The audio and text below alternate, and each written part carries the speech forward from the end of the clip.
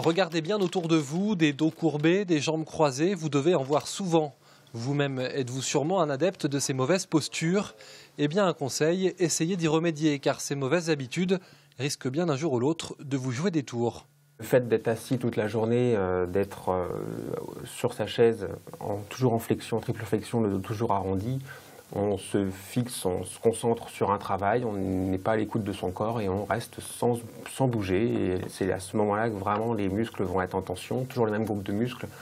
Donc on fatigue énormément le dos. Il faudrait se lever un peu plus, il faudrait bouger, il faudrait s'étirer le dos, s'assouplir, rentrer le ventre pendant qu'on travaille. Prendre le temps un petit peu de se mouvoir, de se mobiliser.